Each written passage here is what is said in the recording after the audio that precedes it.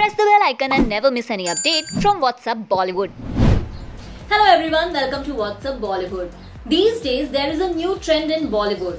Actor and actresses don't tell their wedding plans to anyone. We see their wedding pictures on social media and then we get to know that they have gotten married. Now, we all know that Vicky Kaushal and Katrina Kaif are dating each other since a long time. So there is a news related to this about Vicky Kaushal and Katrina Kaif. What is this news? Let me tell you in detail. Vicky Kaushal, who has done films like Uri, The Surgical Strike, Masan, and many more films, and he have been appreciated for his acting skills. On the other hand, Katrina Kaif is top actress of Bollywood. They both have not done any film together, whether it is lunch date or dinner date. Vicky Kaushal and Katrina Kaif have been spotted by paparazzi many times.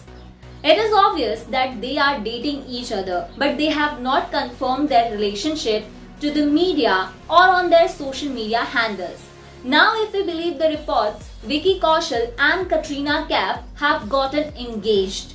Yes, it seems that Vicky Kaushal and Katrina Kaif are very serious in their relationship and they want to take this relationship to the next level. Not just that, if we believe the reports then they are going to get married in this year only. So it will be very surprising for fans.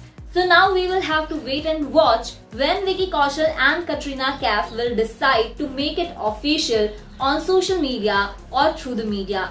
Are you excited for Vicky Kaushal and Katrina Kaif's wedding? Let us know in the comments below. And for more such updates, keep watching What's Up Bollywood.